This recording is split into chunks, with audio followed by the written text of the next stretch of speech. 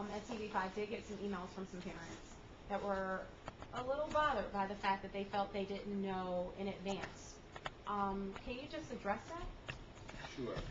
Uh, Let let me begin by uh, mentioning when I first came to Saginaw, which is not all that long ago, I spoke a lot about my own Catholic education, the importance of Catholic schools and Catholic education, and I had acknowledged, you know, the difficulties that Saginaw, as well as other dioceses in Michigan and, you know, around the country were having in terms of Catholic schools. Uh, But I pledged that I would, you know, give my heart and soul to, uh, to our Catholic schools and to our Catholic education. So, I mean, would you really believe that the first thing that I would want to do is to close a school or consolidate schools? I mean, believe me, it's the last thing that I would want to do as the new bishop of Saginaw.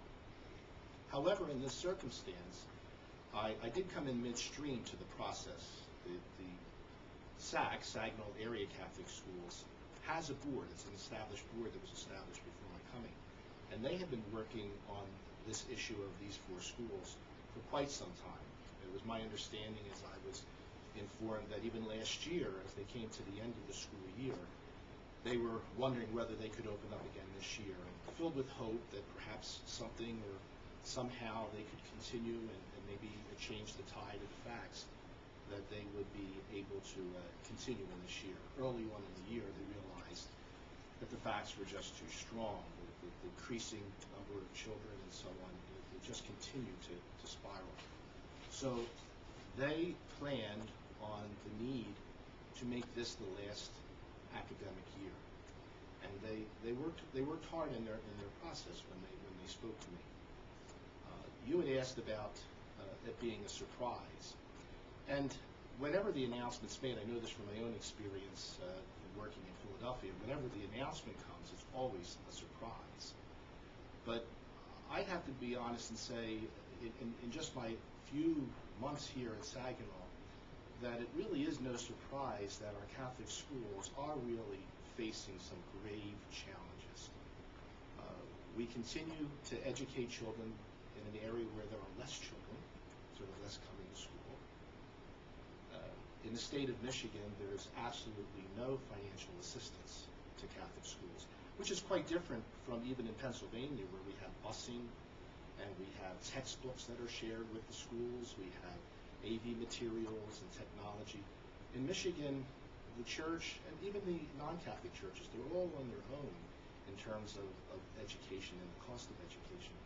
And, and what it does is it places greater demands on the parents, higher costs, less students, higher costs, and so on.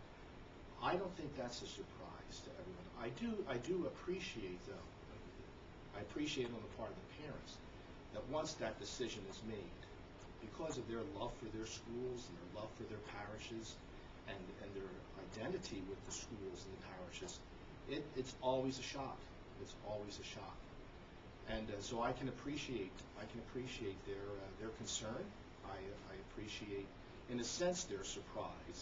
But I think uh, they would have to acknowledge as well that that they could see over the course of the years how the schools were changing, especially in terms of the numbers of students. Uh, and so, um, as I as I was it was presented to me in terms of, of what the board had decision the board come to, it, it was clear that they could not go beyond this year uh, for for keeping all of the schools open. And I believe that in in their heart and soul they tried to make the best determination keeping in mind the needs of the children, the resources of the church, and, and how they could best uh, best address the situation. Yeah, Right, we're gonna That'll keep, Yep. switch me over that'll keep them as Right, we're gonna a do this topic. Oh. No, no. Oh, yeah, no, no, I'm Uh, just moving it over. Yeah, I was just gonna suggest just keep Oh, talking okay, this I'm over I'm- I'm Yeah. sorry. I- Yeah, No, that's fine, you framed up real well with the fireplace, and I just wanted to keep that. Thanks. Well, my first question, um, obviously the, the last bishop was here for a short time. One of his top priorities was education. I know, yeah, obviously, it's twenty zero that was really was his, his top priority. Was this move something that was kind of long overdue and maybe should have been taken care of a couple of years ago and now you're taking care of it? Well, I, wouldn't respond in a sense that maybe uh, my predecessor did make a decision he should have made. I think all of the bishops, I, again, my experience back home, we, like the parents, hang in as long as we possibly can. Uh, Bishop Carlson, to his credit, has uh, established a lot of financial support from, from people who are uh, very, very generous in trying to maintain as best as we can our schools and, uh, and our school systems. But the reality is that there are just less children to begin with. That's the reality. Public schools are experiencing that. Uh, you know that and been reporting on that better than I could. It's, it's, the reality are there are less children. Consequently, there are less children in our Catholic schools. When there are less kids in the schools, it's higher tuition. Higher tuition forces more people out.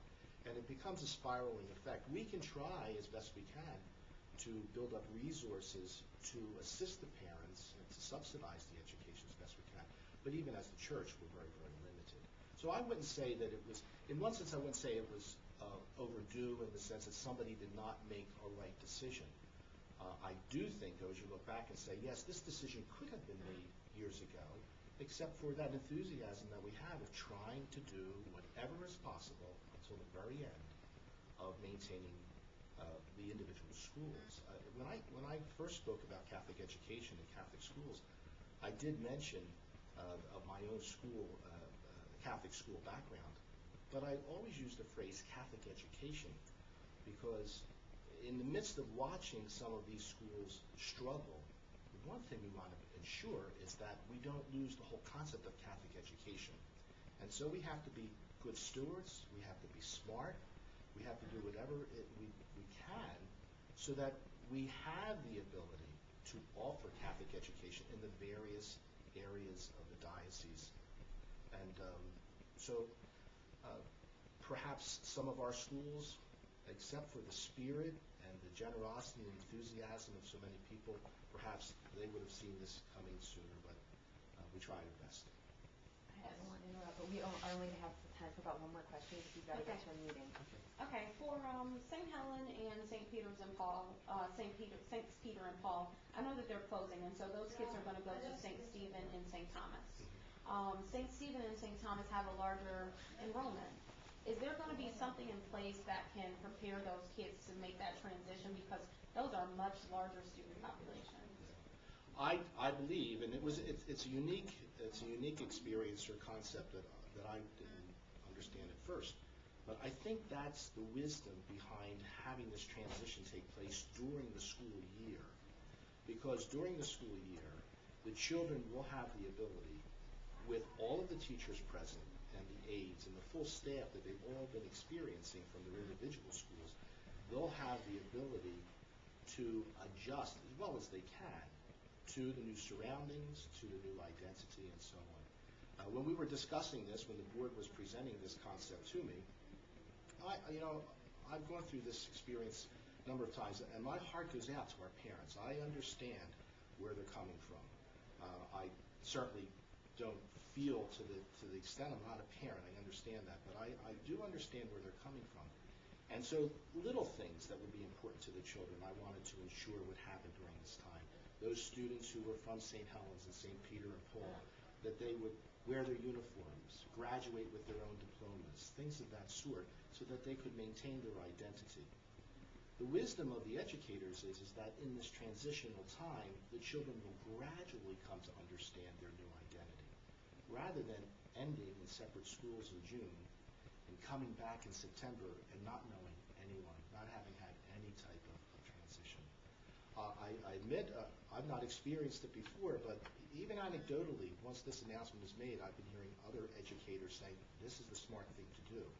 So uh, it will not address every emotion and every feeling that everyone's having at this point, but hopefully it will make the adjustment for the boys and girls uh, smoother and, and better. And it gives us an opportunity then to strengthen their Catholic education, to give them good Catholic teaching, good, strong education. Uh, hopefully that, that, that's the way it will work.